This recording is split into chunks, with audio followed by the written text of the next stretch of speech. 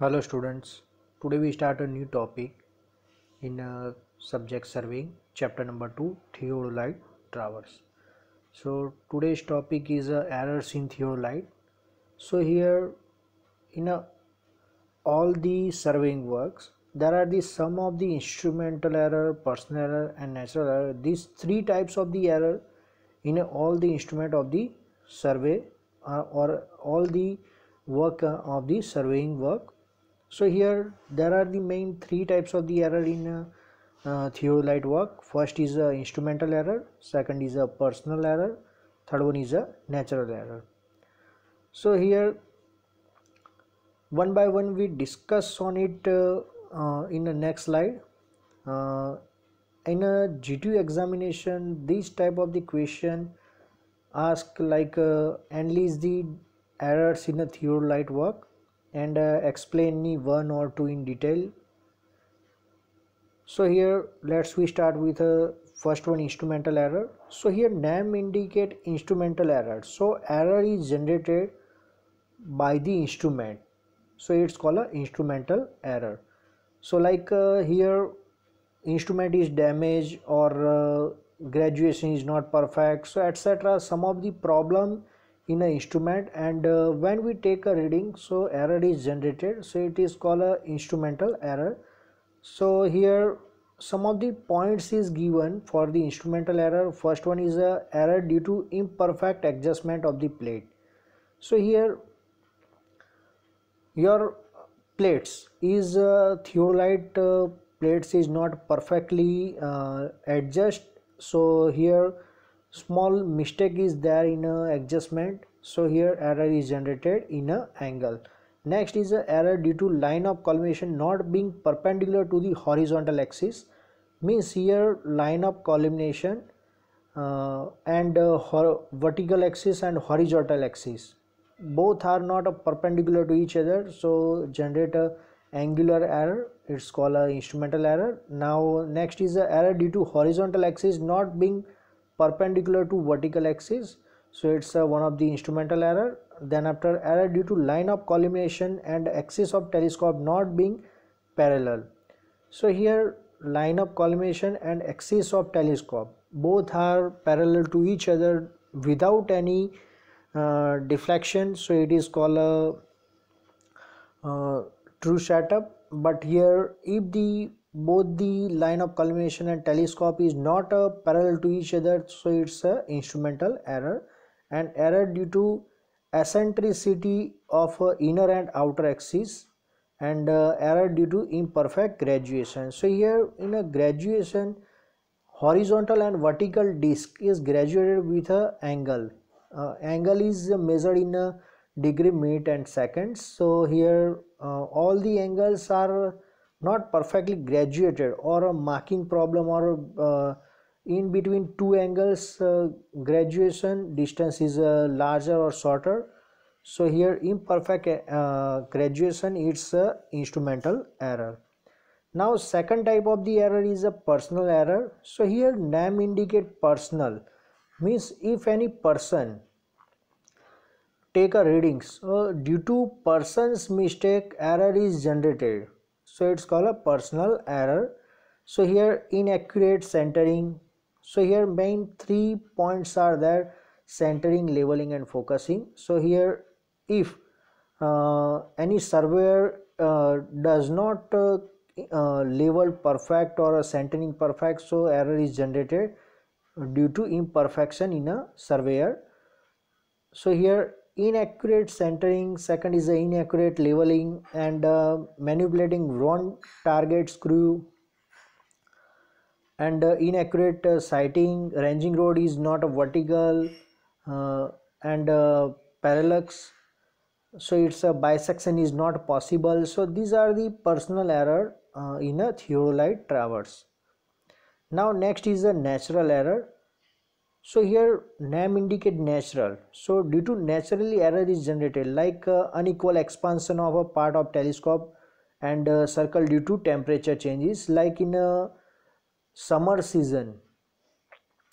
If uh, we survey the entire area so here due to higher temperature expansion of the telescope part is uh, done. So this due to this expansion some of the error is generated in an angle and uh, unequal atmospheric uh, reflection due to high temperature and uh, strong wind causes a vibration uh, due to like a strong wind. So vibration is generated in a, theodolite and uh, move the theodolite uh, small movement uh, is done in a theodolite. So it's a strong wind causes vibration generator natural error and uh, unequal settlement of a tripod because uh, entire land is not a perfectly leveled so unequal settlement of the tripod natural error is generated now here next topic we start is a theodolite traversing so in this method, a framework of a survey line is prepared in an area to be surveyed and there are the two types of the uh, traverse. First one is the open traverse and second one is a closed traverse.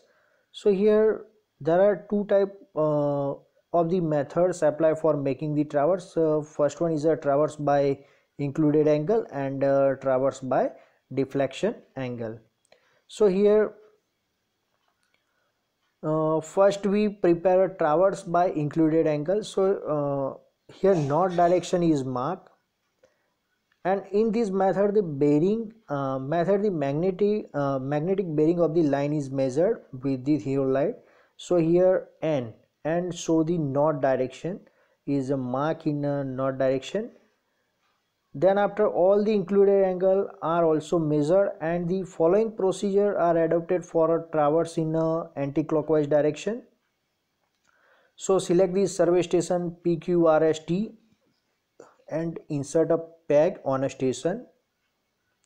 So here we uh, insert a peg on P, Q, R, S and T.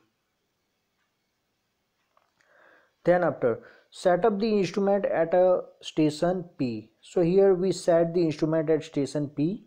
Then after orient the telescope in a magnetic meridian and determine the bearing of the magnetic initial line PQ.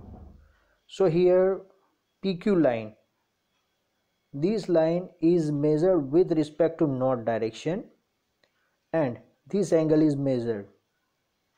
And north direction then after pq line this angle is measured and then after set the vernier at a, a 0 and take a backsight on a station a. So here uh, take a backsight set the vernier here at a 0 and then after take a backsight t is a uh, bisect the t point and take a reading on a vernier A. Then after lose the upper plate and turn the telescope in a clockwise direction and take the foresight to the station Q.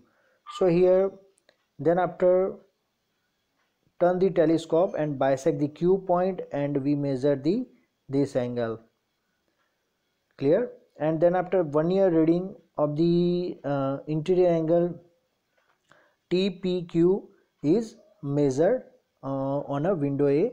And similarly shift the uh, theodolite at uh, another point q point r point s point t point etc and same procedure is repeated for uh, all the points. And we measure the interior angle. Now then after traverse by deflected angle. So here this method is generally used in a an open traverse and it is suitable for a traverse uh, road railway canal pipeline etc so here the procedure is that set up the instrument at a uh, p point this point p point set up the instrument. Then after second step is that uh, level it accurately and measure the bearing line pq so here north direction is there. So pq line. This angle is measured then after shift the instrument at a uh, station Q and level it accurately. Shift the instrument at a Q point and level it perfectly. And then after unclamp the lower plate and take the backsight on a station P. So we um, backsight take a station P and then after plunge uh, plunge the telescope and uh, the line side will be direct uh, direction of the pq then after this pq line is extended and uh, plunge the telescope and take the reading on a vernier a will be 0 and release the upper clamp and turn the telescope in a clockwise direction in this direction and bisect the r station point so at that time we measure the angle this angle this called deflection angle. Clear? So similarly this procedure is applied for r point and up to s point. So here this uh, angle is called deflection angle. Now next uh, topic we start a traverse computation. So here latitude and departure so both these things are very important and uh, latitude departure example also asked in a GTU examination. So here latitude so the latitude of the survey line may uh, line any uh, may be defined as a coordinate length measured parallel to assumed meridian direction. So here L small l is the length of the line AB and theta is the angle of a line with a north south line. So here and when L capital L latitude of the line is measured toward the north it is uh, term as a northing and uh, it is take as a positive and uh, latitude L of the line measured towards south it is termed as a southing and uh, it is taken as a negative. So here see this uh, figure here four quadrant is there so here first plus sign seen is a latitude and uh, minus sign is seen departure. So in a north direction latitude is positive and in a south direction latitude is negative. Similarly in a east direction departure is positive this one this one and uh, in a uh, west direction departure is negative? So here AB line is there. So here latitude and departure both are latitude and departure both are positive because it's in a first quadrant. If the line is here so latitude is negative and departure is positive.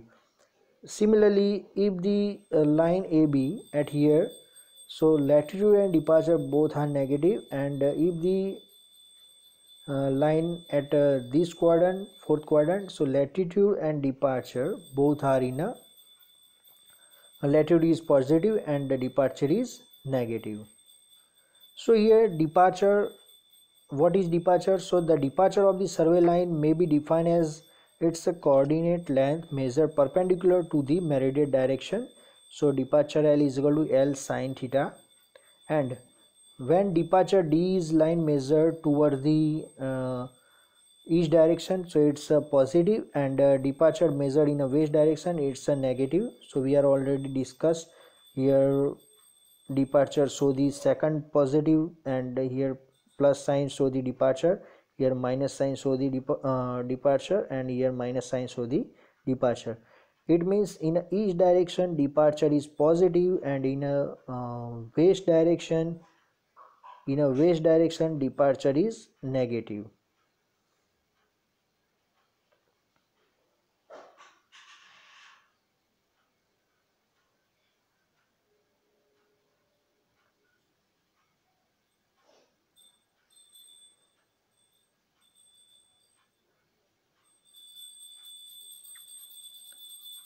so in a, a, next lecture we discuss on a closing error. So today we here complete our topic. Thank you